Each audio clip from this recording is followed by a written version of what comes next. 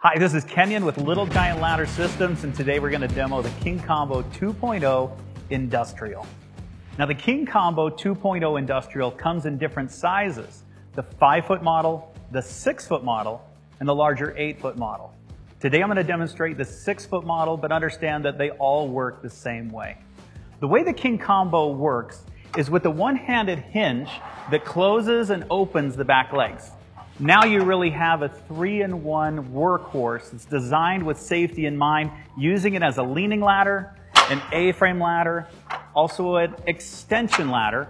And as we get into the details, the leaning ladder really is groundbreaking because it's able to be used in that leaning or closed position.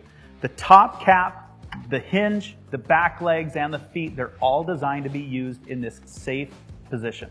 Now we go to the top cap, and you'll notice that not every surface that you lean a ladder on is going to be flat. So once we push in these buttons left and right, we can rotate this wall pad around, and now you can safely use the King Kombo in inside corners, outside corners, against 2x4 studs, pipes, poles, a variety of situations, and again, rotate it just the same way to put it back in its storage position. The hinge operates with one single lever, Squeeze that in with one hand, and that disengages both the right and the left. These are zinc plated solid steel plates with a stainless steel locking bar. Squeezing that in disengages the hinge, so now we can open it up, locking into its A-frame or stepladder position.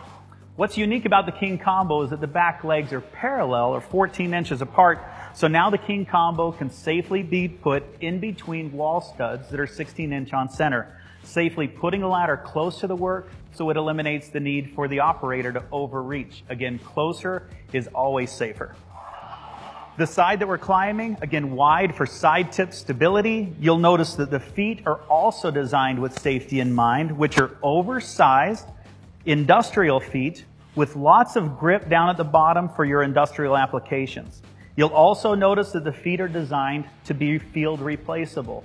Anybody that has a Phillips head screwdriver or drill can simply slip those off, put new feet on, and again, maintain the ladder out in the field to be working safely. You'll also notice that the bottom rung has a ground cue at the bottom.